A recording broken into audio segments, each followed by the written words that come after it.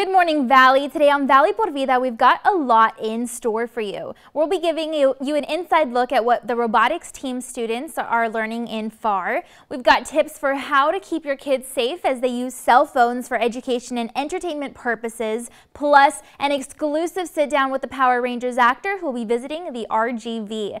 Now, there's so much going on, and we've got you covered. Valley Por Vida starts right now.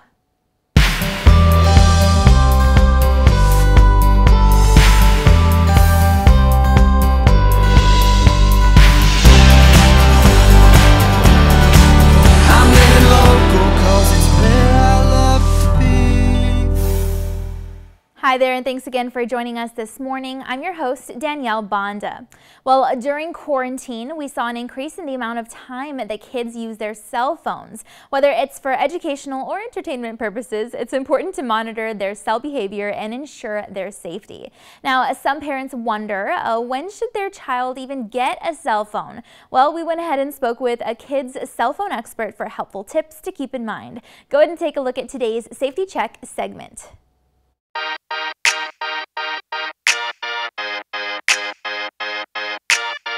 Well, good morning. Great to be with everyone this morning. My name is Bill Brady. I'm the CEO of Troomi Wireless. Thrilled to be here to talk a little bit about kids' cell phone safety and these important issues. Hey, every parent in America is dealing with these uh, these questions right now because every child comes home and says, "I'm the only kid that doesn't have a cell phone." And uh, so we're dealing with these questions of when to introduce phones to kids and, and what should we give them uh, in order to give them something that's safe but still flexible for them. So the right age really depends on every child and every different family situation uh, because people have different needs, different maturity levels.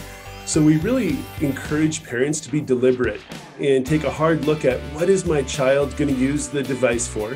What do they, they really need? And then give them something to start with that's appropriate for their age. So we suggest starting younger kids with a, a, really limited approach of talk and text only, and then introduce more functionality from there.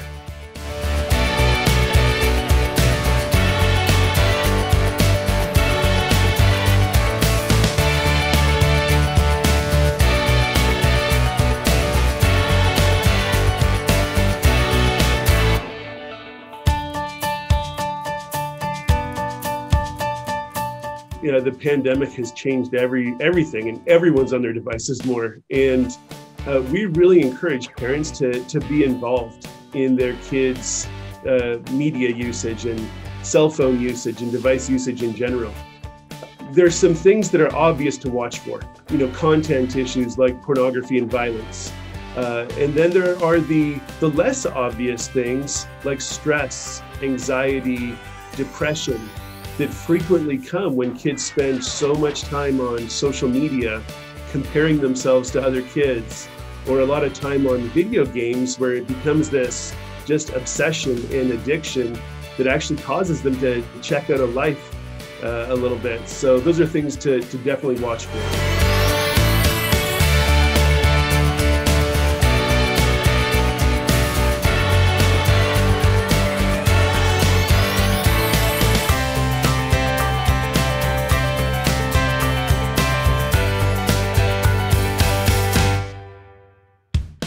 So we encourage devices where parents can uh, really set access and time limits for the different functions of a phone. Uh, with our solution, for example, during the day, you can have it set up so the kids have access to the educational uh, aspects, the educational apps, for example, uh, but not to, to, to anything else. And, and then during the off hours, you can make other, other things available. Uh, but definitely parents have got to be involved in, in watching.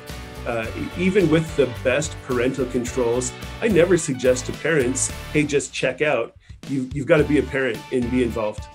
Yes, so we've just launched uh, Troomi Wireless, and the big differentiator between our solution and others is our Kids Smart operating system, which really allows parents to, to introduce a device to a younger child with very limited functionality and then graduate them into increasing levels of responsibility based on their needs and maturity. One of the big aspects of that is our suite of Kids Smart apps. which we've curated and vetted for safety. So if you're choosing, if you're putting those apps on the phone from our, our Troomi parent portal, you can have a high degree of confidence that they're going to be safe. Hey, thanks, Danielle, for having me on. I hope this has been a great time with your viewers and hope this advice uh, will help everyone keep their kids safe on cell phones. And we hope that everyone can keep in mind these tips to ensure your child is safe while navigating through their cell phone for educational or entertainment purposes.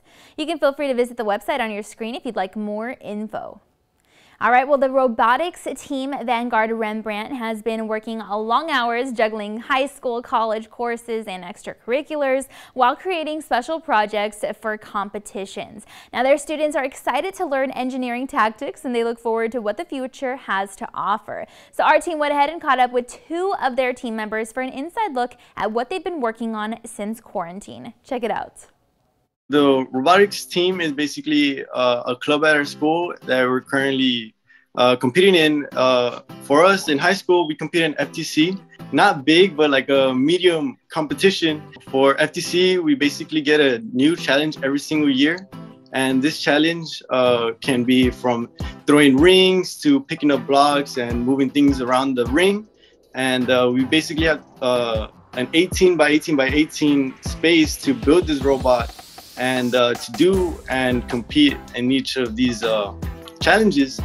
And uh, basically, what we do is that we come in together, we brainstorm, and put ideas together to uh, to get a final. Teamwork is a very important factor. Um, everybody puts in uh, every, all their efforts. Uh, it can be from the driver to the coach to just the the team manager everybody can pitch an idea randomly. Everybody is uh, is stumped and they don't know what to what to do next. And uh, such as anthony. Anthony comes in with a bunch of uh, ideas for the robot and they actually come out and perform perform well. So uh, teamwork and putting in our ideas together uh, really helps out at the end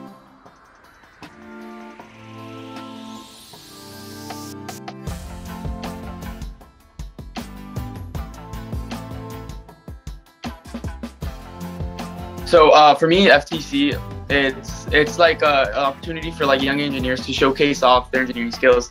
Uh, we go through all the process that, real engineers go through, which is designing a robot, um, designing, performing, and then like even writing down and uh, taking down everything that we do to the robot. So I, our overall goal is to continue in this path at engineering. And in FTC, I think our overall goal is to compete and uh, have success in competing the competitions are actually really they're, they're really fun to, to go to. Uh, we, we actually we're paired up with an alliance every match, which is just a random team, and it can be from any other school. So we're usually paired up with bigger schools since uh, we go against I think five and six A schools. So we're usually paired up with these bigger schools, and it's a, it's a great opportunity. We all learn from each other. We take ideas, they take ideas, and it's a very friendly environment as well. First Robotics is known for, for being a very uh, friendly team a bonding experience, and it's just it's just a really great experience overall to compete. So uh, first gives us an opportunity to actually uh, work as engineers at, at a high school level. So we're doing everything that real engineers do, um, and we're we're actually I feel like it's preparing us for our future because that's our future right now, which is just technology.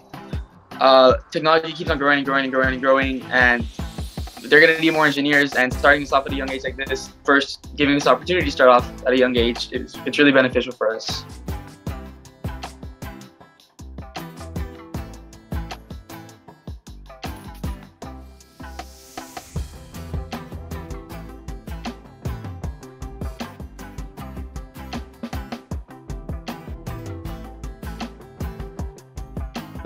even though it was such a very big negative, or many people viewed it as a negative, uh, robotics was a big positive for us. As in, as when Mr. Flores said, when we brought the robot back to home, we were able to work together here as we weren't able to connect or uh, join together before in the past, and that let us uh, come in together and be with each other and work on something that's good for us. You know, um, that gives us a lot of uh, lessons and working together. It, it just really brings us together. I'm really grateful for our team. Um, everybody helps me out Everybody helps each other out. I help them. They help me. You know, everybody everybody puts in their part, and uh, I'm very I'm very grateful for for my team and also my coaches. They they have always been there for us, and they've always uh, pushed us as well uh, to keep on keep our focus on the robot. And uh, yes, it, it, I'm just very grateful for it. The the people I have there at my school. Robotics at Vanguard is really for anyone. Like not only engineering majors. I'm actually going more into the medical field, but I joined robotics for the teamwork aspect because I know in the medical field there's a lot of teamwork going on, and teamwork is a very big part of robotics. Uh, you have to come together as a team. You have to put your brains together, compromise. You know, because not everyone agrees, and there's times where we don't agree, and we have to find a solution and compromise, just like in any real life situation. So whether you're going into the medical field, whether you're going into engineering, or into anything else that you're doing, there's a lot of skills that you will learn in uh, robotics that will help you move on and like be better at what you want to be, even if it's not engineering. We're excited to see their robotics team flourish and look forward to seeing where their engineering education will take them in the future. If your child would like to join the team or if you'd like more information, you can feel free to visit one of the websites on your screen. All right, well, it's time now to take a commercial break, and then we've got to look at your local weather updates. But be sure to stay tuned because Valley Por Vida will be back. And we'll be bringing you an exclusive sit down with one Power Rangers actor who's making his way to the RGV for a special meet and greet that you won't want to miss. Those details plus more coming up.